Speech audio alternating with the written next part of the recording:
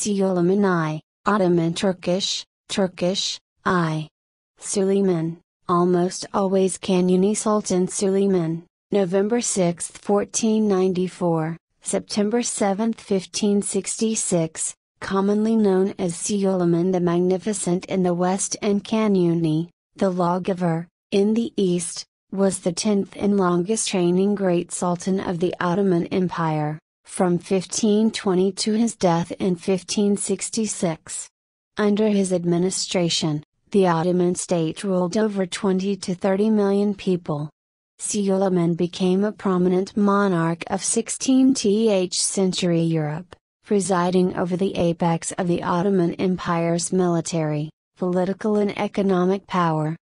Suleiman personally led Ottoman armies in conquering the Christian strongholds of Belgrade and Rhodes as well as most of Hungary before his conquests were checked at the Siege of Vienna in 1529. He annexed much of the Middle East in his conflict with the Persian Safavids and large areas of North Africa as far west as Algeria. Under his rule, the Ottoman fleet dominated the seas from the Mediterranean to the Red Sea and through the Persian Gulf. At the helm of an expanding empire, Suleiman personally instituted major legislative changes relating to society, education, taxation and criminal law. His canonical law, or the canons, fixed the form of the empire for centuries after his death. He was a distinguished poet and goldsmith, he also became a great patron of culture, overseeing the golden age of the Ottoman Empire in its artistic, literary and architectural development. Breaking with Ottoman tradition, Suleiman married Roxelana, a former Christian girl converted to Islam from his harem, who became subsequently known and influential as Hurrem Sultan. Their son Selim II succeeded Suleiman following his death in 1566 after 46 years of rule, thus beginning a long state of stagnation and decline during Selim II's reign. Suleiman's previous heir apparents Mehmed and Mustafa had died, the former from smallpox and the latter had been strangled to death 13 years previously at the Sultan's order. His other son Bayezid had been killed by his support and Selim's order in 1561 with four of his sons. Alternative names and titles Suleiman the Magnificent, as he was known in the West, was also called Suleiman I, and Suleiman the Lawgiver for his complete reconstruction of the Ottoman legal system. Early life Suleiman was born in Trabzon along the east coast of the Black Sea, probably on November 6, 1494. His mother was Azhafsa Sultan, she was possibly the daughter of Mengli I Giray, a descendant of Genghis Khan, through Jochi, little is known of her other than that she died in 1534. Education At the age of seven, Suleiman was sent to study science, history, literature, theology and military tactics in the schools of the Imperial Topkapı Palace in Constantinople, modern Istanbul. As a young man, he befriended Pargalı Ibrahim, a slave who later became one of his most trusted advisors. Viceroy in Anatolia, from the age of 17, he was appointed as the governor of first Kaffa, Theodosia, then Sarukhan, Manisa, with a brief tenure at Adrianople, now Edirne. Accession Upon the death of his father, Selim I, 1465-1520, Suleiman entered Constantinople and ascended to the throne as the 10th Ottoman Sultan. An early description of Suleiman, a few weeks following his accession, was provided by the Venetian envoy Bartolomeo Contarini. He is 26 years of age, tall, but wiry, and of a delicate complexion. His neck is a little too long, his face thin, and his nose aquiline. He has a shade of a mustache and a small beard, nevertheless he has a pleasant mien, though his skin tends to be a light pallor. He is said to be a wise lord, fond of study, and all men hope for good from his rule. Some historians claim that in his youth Suleiman had an admiration for Alexander the Great.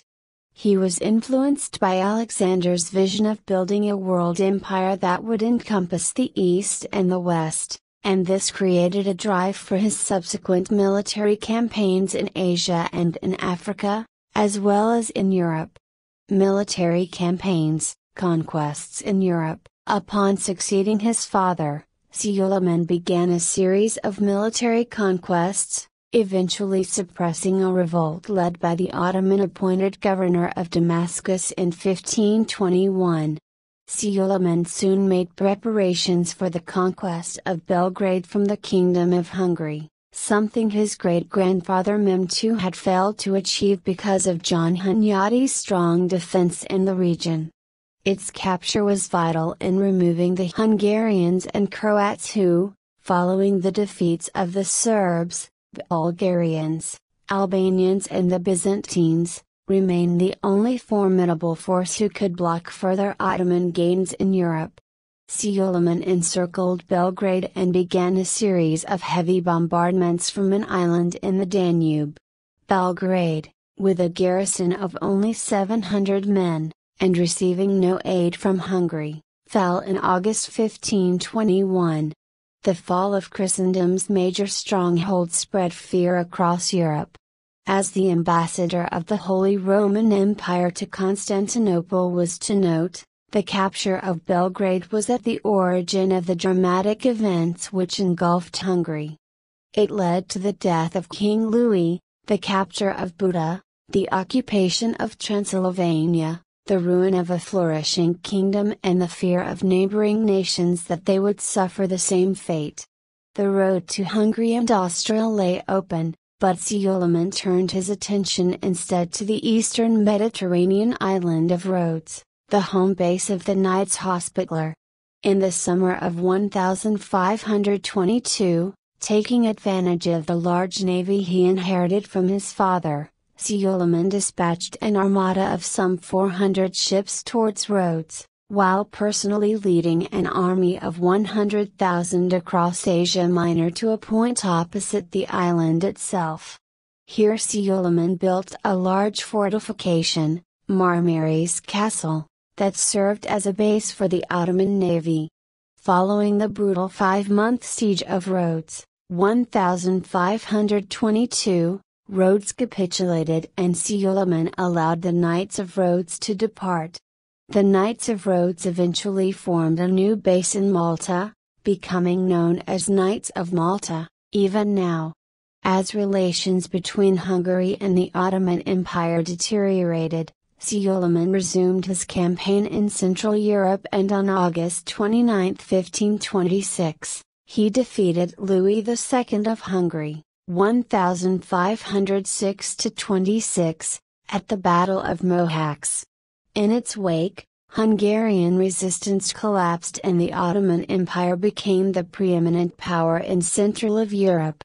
Upon encountering the lifeless body of King Louis, Suleiman is said to have lamented, I came indeed in arms against him, but it was not my wish that he should be thus cut off before he scarcely tasted the sweets of life and royalty.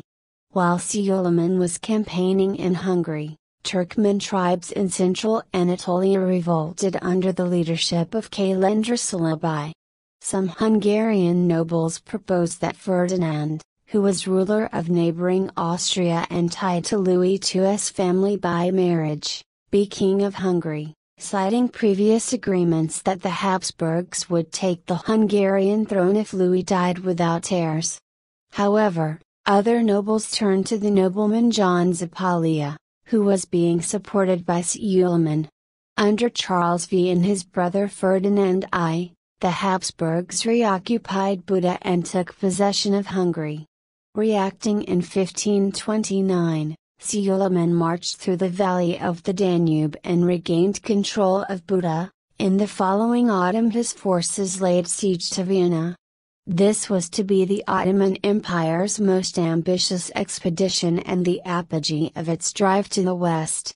With a reinforced garrison of 16,000 men, the Austrians inflicted the first defeat on Suleiman, sowing the seeds of a bitter Ottoman Habsburg rivalry, which lasted until the 20th century. His second attempt to conquer Vienna failed in 1532, with Ottoman forces delayed by the siege of Güns, failing to reach Vienna. In both cases, the Ottoman army was plagued by bad weather, forcing them to leave behind essential siege equipment, and was hobbled by overstretched supply lines. By the 1540s, a renewal of the conflict in Hungary presented Suleiman with the opportunity to avenge the defeat suffered at Vienna. In 1541 the Habsburgs once again engaged in conflict with the Ottomans, by attempting to lay siege to Buda. With their efforts repulsed and more Habsburg fortresses captured by the Ottomans in two consecutive campaigns in 1541 and in 1544 as a result, Ferdinand and his brother Charles V were forced to conclude a humiliating five-year treaty with Suleiman. Ferdinand renounced his claim to the Kingdom of Hungary and was forced to pay a fixed yearly sum to the Sultan for the Hungarian lands he continued to control. Of more symbolic importance, the treaty referred to Charles V not as emperor, but as the King of Spain, leading Suleiman to identify as the true Caesar. With his main European rivals subdued, Suleiman ensured that the Ottoman Empire had a powerful role in the political landscape of Europe for some years to come. Ottoman Safavid War As Suleiman stabilized his European frontiers, he now turned his attention to the ever present threat posed by the Shia Safavid dynasty of Persia. Two events in particular were to precipitate a recurrence of tensions.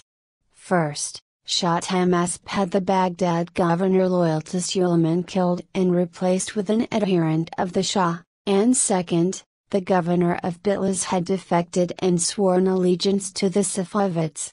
As a result, in 1533, Suleiman ordered his Grand Vizier Pargalı Ibrahim Pasha to lead an army into eastern Asia Minor where he retook Bitlis and occupied Tabriz without resistance. Having joined Ibrahim in 1534, Suleiman made a push towards Persia, only to find the Shah sacrificing territory instead of facing a pitched battle, resorting to harassment of the Ottoman army as it proceeded along the harsh interior. When in the following year Suleiman and Ibrahim made a grand entrance into Baghdad, its commander surrendered the city, thereby confirming Suleiman as the leader of the Sunni Islamic world and the legitimate successor to the Sunni Abbasid caliphs.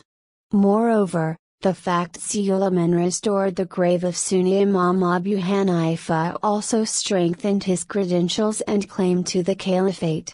Attempting to defeat the Shah once and for all, Suleiman embarked upon a second campaign in 1548 to 1549.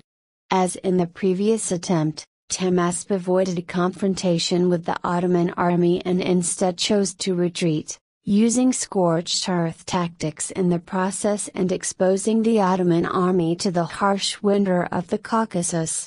Suleiman abandoned the campaign with temporary Ottoman gains in Tabriz and the Urmia region, a lasting presence in the province of Van, control of the western half of Azerbaijan and some forts in Georgia. In 1553 Suleiman began his third and final campaign against the Shah. Having initially lost territories in Erzurum to the Shah's son, Suleiman retaliated by recapturing Erzurum, crossing the upper Euphrates and laying waste to parts of Persia. The Shah's army continued its strategy of avoiding the Ottomans, leading to a stalemate from which neither army made any significant gain. In 1554, a settlement was signed which was to conclude Suleiman's Asian campaigns.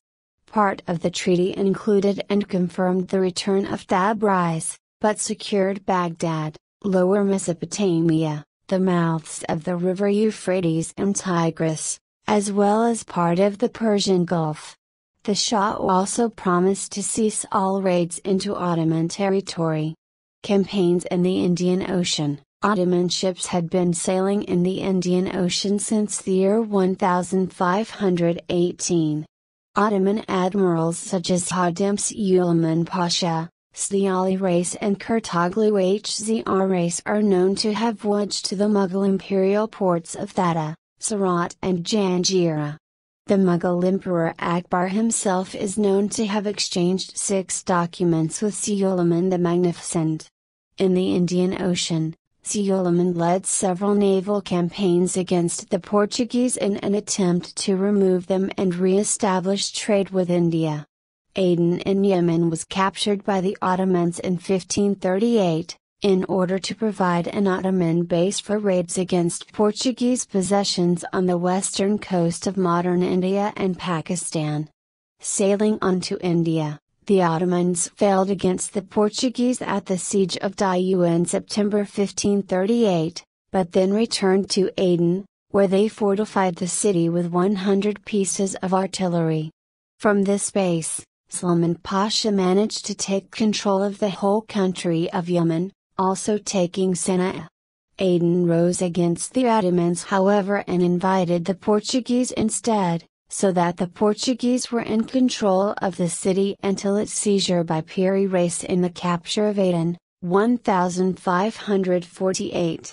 With its strong control of the Red Sea, Suleiman successfully managed to dispute control of the Indian trade routes to the Portuguese and maintained a significant level of trade with the Mughal Empire of South Asia throughout the 16th century.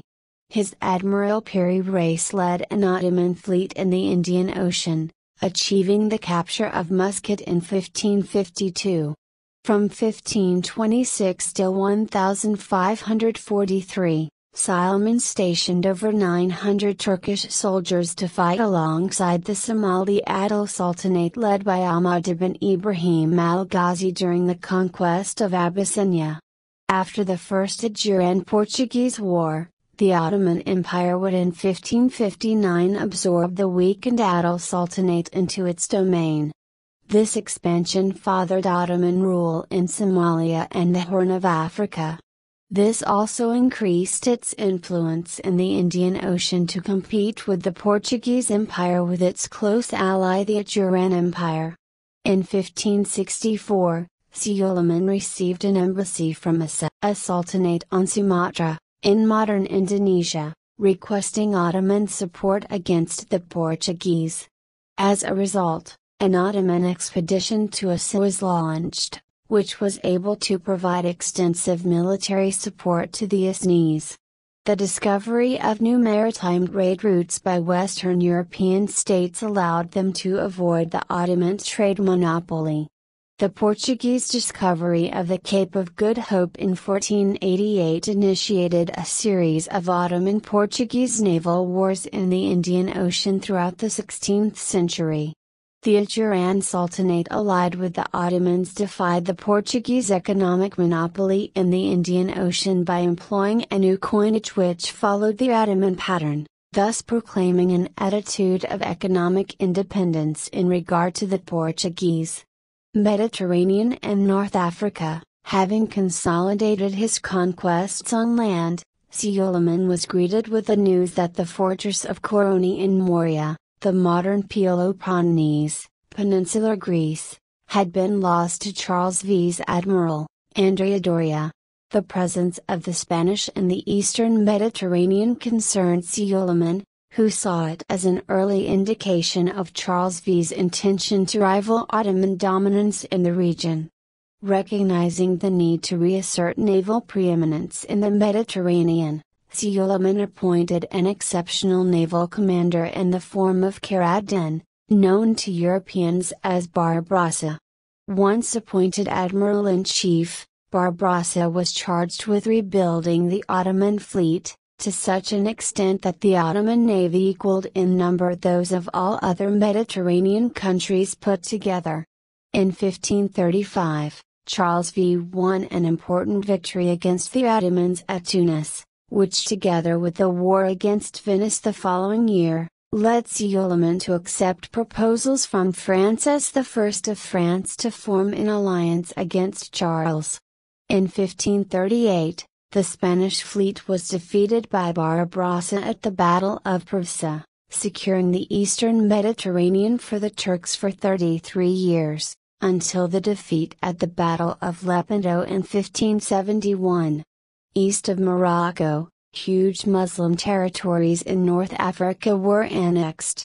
The Barbary states of Tripolitania, Tunisia and Algeria became autonomous provinces of the empire, serving as the leading edge of Suleiman's conflict with Charles V, whose attempt to drive out the Turks failed in 1541.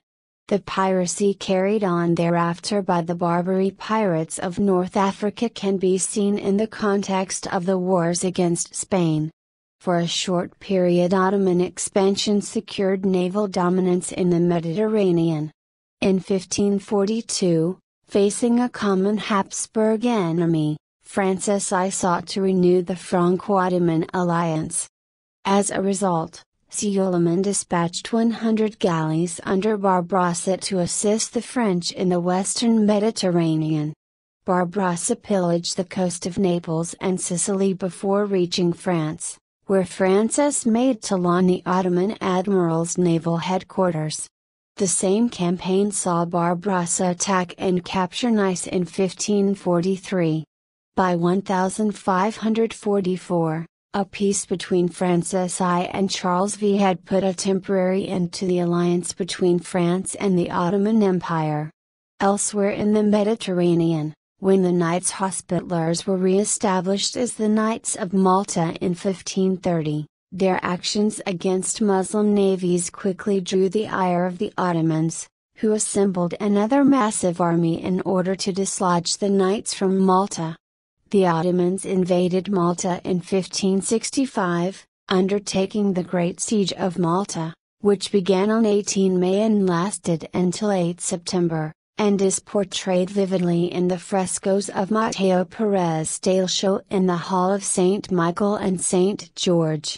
At first it seemed that this would be a repeat of the battle on Rhodes, with most of Malta's cities destroyed and half the knights killed in battle but a relief force from Spain entered the battle, resulting in the loss of 10,000 Ottoman troops and the victory of the local Maltese citizenry.